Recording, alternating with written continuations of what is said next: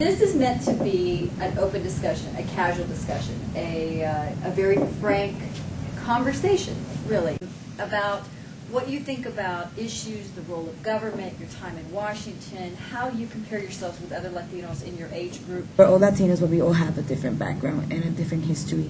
And suddenly all these stereotypes just start describing me and I fall into this mold. Whether or not actually I believe certain things, people automatically start making assumptions depending on the exposure that they've had to people from that party.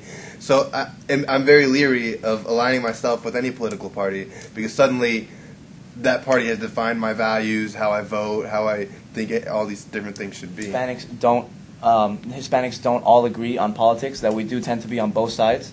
All right, how many of you would vote for a candidate from a different The, party? the candidate that I, I feel overall, because no candidate is perfect, Right. I feel overall is going to do the best job for the country, and that's it. It doesn't matter if, if it's a man, a woman, uh, a black person, a Hispanic person, a white person, how old they are. It doesn't matter. It's just as long as I think that you're going to do the best job for the country, go ahead.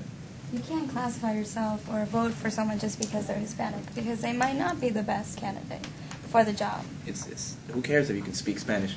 In America, they speak English when they're doing government affairs. I think that a lot of Latinos do vote for candidates because they're Hispanic. Because like this guy, because honestly, we're, we're educated, we're up here, we we're involved with this political process. We see beyond it, but people just get snapshots. You know, they get thirty second commercial, they get six o'clock news, a little cameo, and that's where they make their political decisions on. And they see, oh, this guy's Latino. He understands where I'm coming from. I'm gonna vote for him. You know, and I think it does. It, it's a shame that.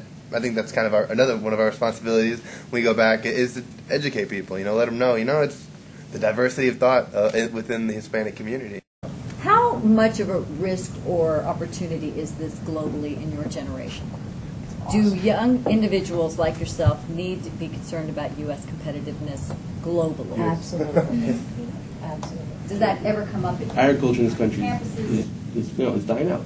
And I don't think that's necessarily holding out to you know agricultural subsidies, something we talk a lot about, isn't necessarily you know going to make us competitive all of a sudden. I mean, just you know, it's just trying to hold on to that dying breed. Instead of trying to hold on to that and being protectionist, why don't we embrace our changing economy, embrace our technology? Um, I'm from Venezuela, so for me, um, the direction Venezuela is taking and how that's influencing policy in different countries in Latin America is of great concern for the future, especially how America is going to respond to Being it. smart, it's very important. It's it's a uh, you need to know your stuff, but knowing your stuff isn't gonna. That's not enough. You need to know people. You need to put yourself out there.